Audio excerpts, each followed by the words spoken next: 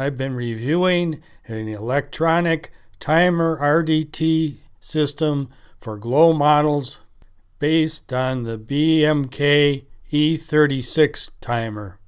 I don't consider this video complete, but it will give some supplement to the instructions.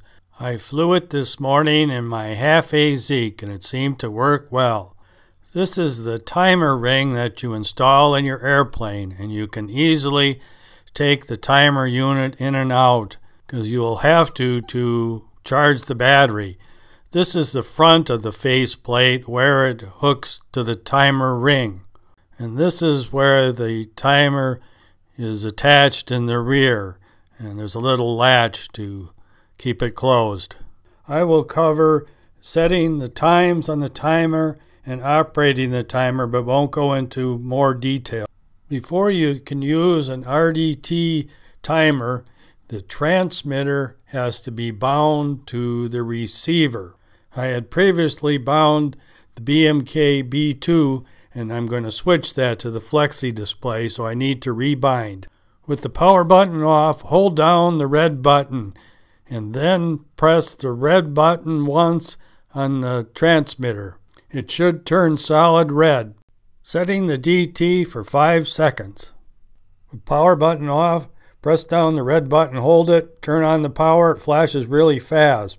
Release it will be moderately fast. Press again and the servo will move to the first position. You'll be releasing that button just after the arm moves past the wire for the engine cutoff.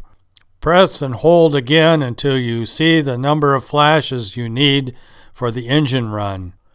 When you release, it will save the settings and it will flash really fast, indicating they're saved. Setting the DT time starts just like for the engine timer. The difference is you'll be holding the red button as the servo moves to the position where the top of the servo arm is just past the wire for the DT. The other difference is, is each flash will count 10 seconds of DT time, so one flash is 10 seconds. For two minutes, you'd be counting 12 flashes. This is an example of setting just for a 10 second DT. So press release, press again, start the servo moving to the right. When it gets to the fifth position, let go. Press again to start the count and just a single flash, let go, and it's saved.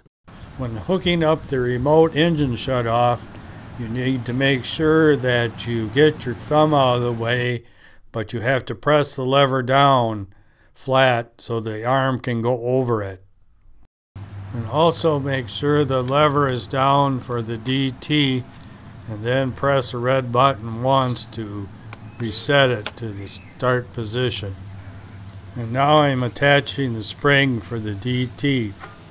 Starting the timer, it'll be on. You'll press and hold the button for two seconds, let it go, press it for another two seconds, and the series of events should start happening. Practice this over and over before flying.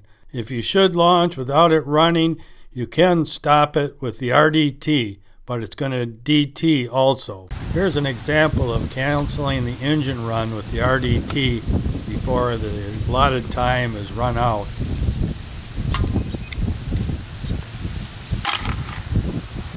This is an example of canceling the DT portion of the run with the RDT.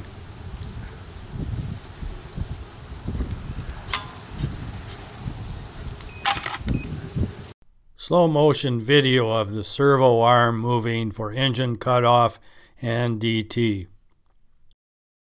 Start the timer for a short engine run and then watch it run on the ground. This is just a three second engine run.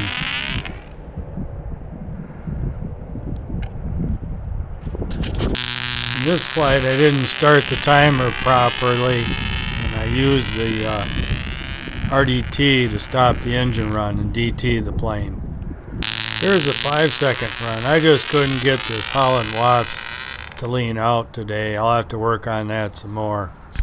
Remember, as long as you don't have the red button depressed when you turn on the power, You can't change any settings. In a longer video, maybe I can go into making changes of modes and interval changes. Thanks for watching, and I'll try to expand on this in the future.